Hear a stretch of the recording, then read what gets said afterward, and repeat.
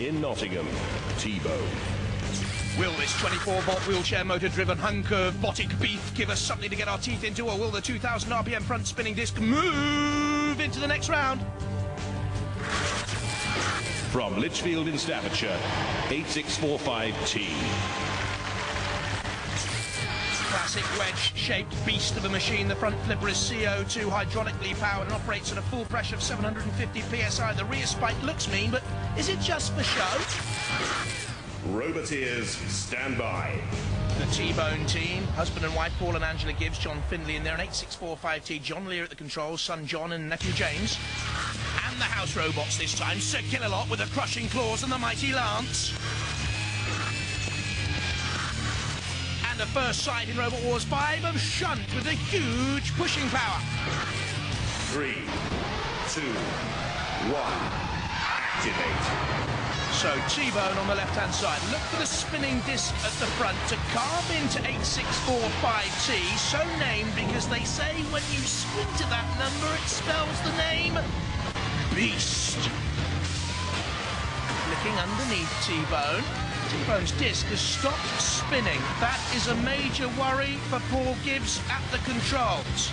He needs to rev up that weapon once again. It is not working and therefore T-Bone has been somewhat filleted.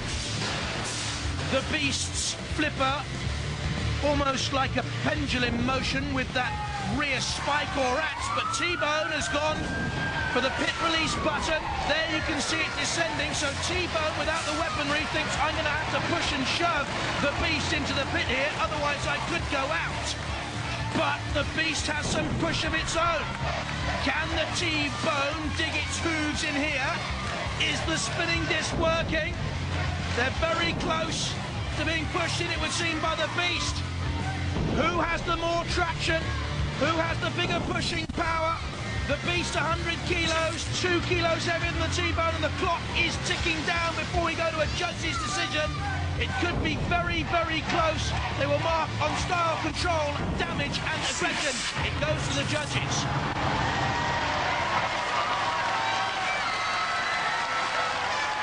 Very close decision for our three robotic electronics boffins. On the left-hand side, Mat Irvine, Professor Noel Sharkey and Dr. Myra Wilson.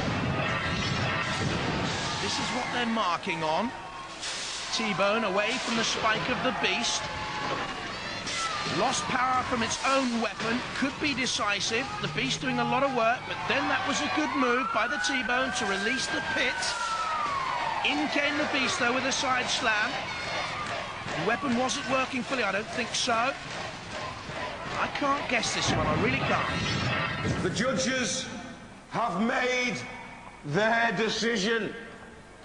T-Bone, very fine robot, very well supported. But they lost the winner, 8645T!